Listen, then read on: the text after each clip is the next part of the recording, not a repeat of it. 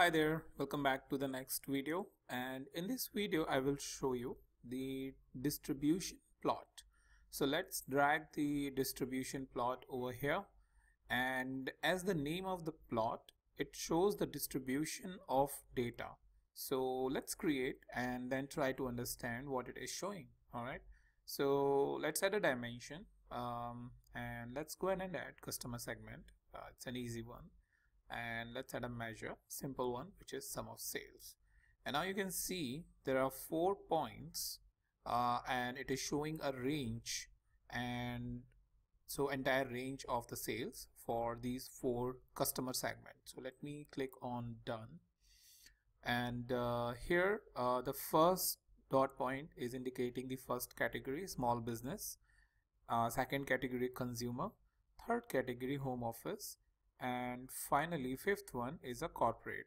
So this chart is basically a very helpful in terms of understanding how overall the range of sales is. That means the starting point till ending point what the range is and then the different dimension point. So here the dimension we took was the customer segment and under customer segment you had four different values corporate home office, consumer and small business. It shows how these four values of these dimensions are present on this entire range and one can clearly figure it out that corporate is the one where which is at the top as compared to small business which is at the minimum and rest of the other two categories are also near to the minimum. Now we can make this chart even more complex after understanding this.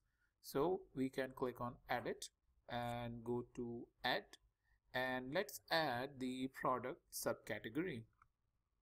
Now you see we have made this chart more complex. So now if I click on done uh, for each of the product subcategory I have the range how the range is so first thing I can clearly see is office machine is the one which is leading this entire range followed by telephone and communication and at the end you have office furnish office furnishing.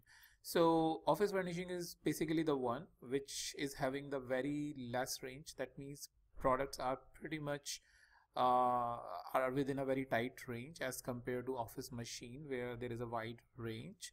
Uh, and this chair and chair mats, tables, this basically represent that there is a healthy range which is present.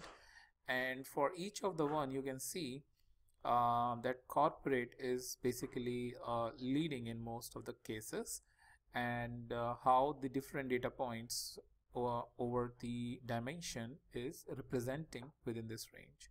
So that's a quick idea about the range uh, chart, of how you can create it and how you can interpret, interpret it and how you can finally um, add more dimension and make it a little bit more complex for your easy data analysis. So this, this charts helps a lot to understand uh, the different categories that you have within the dimension and to understand the distribution of data like you try to understand from other charts for example box plot we discussed or histogram we discussed all of those are also useful in terms of uh, understanding the distribution of data but more on the statistical way. But and this chart is uh, helpful in terms of more of a range uh, which shows a range of distribution and uh, how the different data points are on this range so I hope uh, this uh, you find it useful and I will meet you in the new video with a new topic.